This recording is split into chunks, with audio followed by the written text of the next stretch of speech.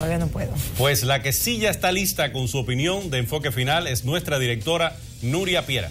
Buenas noches, Nuria. Buenas noches. Muy buenas noches.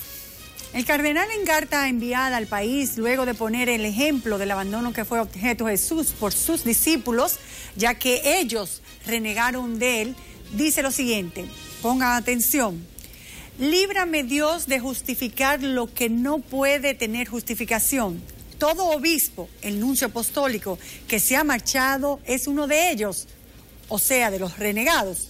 Pasa por años de formación en los seminarios, pero aquí se plantea lo que a mi juicio está la raíz del problema.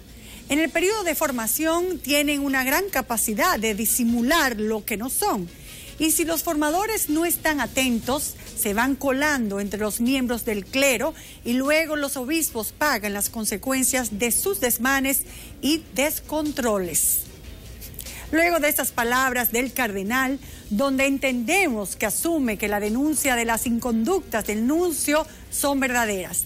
De hecho, se dice que las llevó él personalmente al Vaticano y por eso lo destituyeron de inmediato.